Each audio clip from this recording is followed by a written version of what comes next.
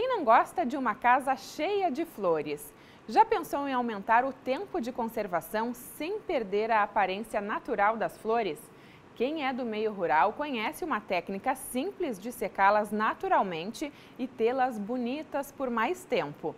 Normalmente, isso é feito com as flores penduradas em varal, em pequenos feixes à sombra e em local ventilado. Mas hoje, a extensionista da Emater de Vanini, Camila Rigotti, vai nos ensinar a fazer uma secagem de flores como lavanda, sempre viva e perpétua, utilizando o micro-ondas. Olá, meu nome é Camila Rigotti. Sou extensionista rural social e trabalho no escritório municipal de Vanini. Hoje vamos fazer a secagem das flores no micro-ondas. Esta técnica é bem interessante, pois essas lindas flores que enfeitam o nosso jardim, elas podem ficar secas e podemos utilizar durante todo o ano para decoração, artesanato e lembrancinhas. Esta é uma técnica bem simples. Vamos precisar de um micro-ondas, um copo com um pouco de água e flores. As flores que podemos secar então são a lavanda, a sempre viva e a perpétua. O processo é simples. Colocamos as flores sobre um guardanapo e levamos para o micro-ondas.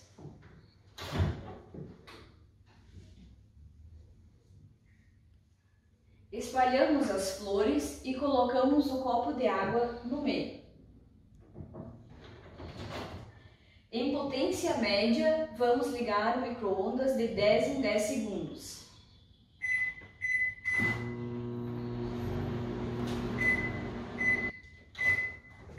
Durante este processo, é preciso virar as flores para que elas sequem por inteiro.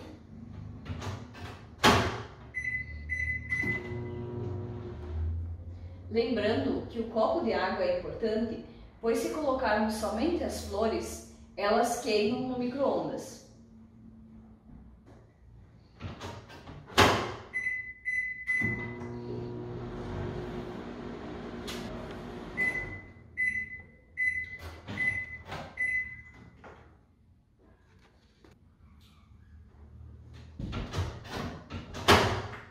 Retiramos do micro-ondas, ela ainda está quentinha.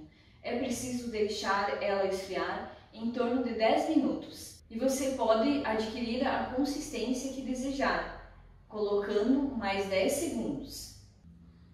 Uma dica importante é: as plantas devem ser colhidas jovens, pois em estágio avançado elas soltam suas sementes e devem ser colhidas à tarde pois pela manhã tem muito orvalho. Confira as fotos a seguir, utilize a criatividade e faça você também.